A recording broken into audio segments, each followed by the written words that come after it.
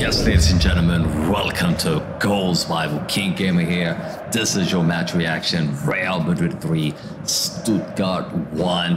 What a game. I mean, what a game. This first half was unbelievable. This was end-to-end stuff. I mean, Stuttgart should have scored five. Madrid should score five in that first half. It was an end-to-end game. Look, in the end, Madrid deserved to win this match. Don't get me wrong, Madrid 100% deserved to win this game, but it was a close game. It was a close game for a long period of time. Uh, Kylian Mbappe, yet again, scored yet again on the score sheet. He did the celebration for all the haters. For all the haters, he did that celebration. I'm happy for him. It's another goal now. He scored back to back to back to back. Now Kylian Mbappe scoring.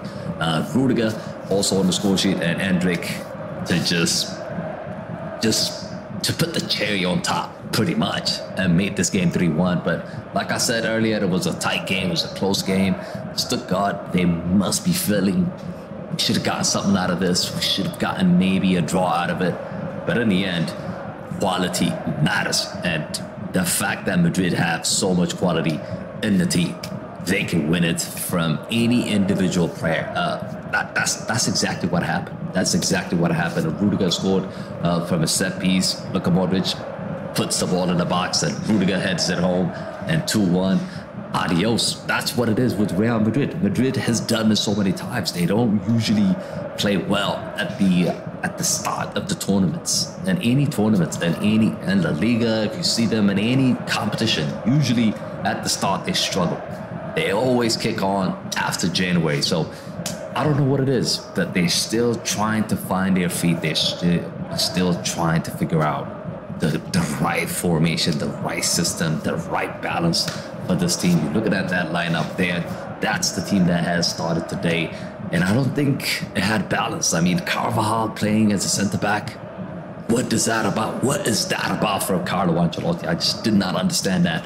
Lucas Vazquez playing on the right, okay, that is expected, but Carvajal should have been on the bench. You know, if you're not gonna play Carvajal as a right back, just don't play him at all. But look, it did not work today. It did not work, and they are they were lucky to get away with it today. They were lucky to get away with it today.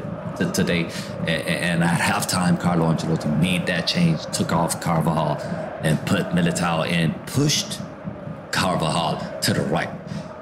Basically, that's what he did.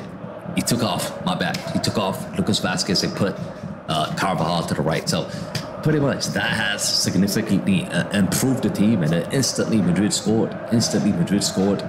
Beautiful pass by uh, Rodrygo to Kylian Mbappe. Of course, Mbappe scored a tap in. That was an easy goal. But after that, you expect Madrid to score two, three, four, but that wasn't the case. Stuttgart has equalized from uh, uh, uh Undav uh, in the 67th minute. It was a wide open header, and the game was tight. The game was 1 1, but in the end, like I mentioned earlier, Rudiger has scored that header to give Madrid the lead, and after that, Stuttgart, everybody pushed up, and Endrick, Endrick scored the third goal. And I'm surprised Endrick actually took the shot. You know, he had two, three options. Vinny on this side, Arda Güler behind him, and then uh, Mbappe on the, on the left hand side, but he decided to shoot. It wasn't even a good shot, to be honest. It was not even a good shot. But the goalkeeper should should saved it.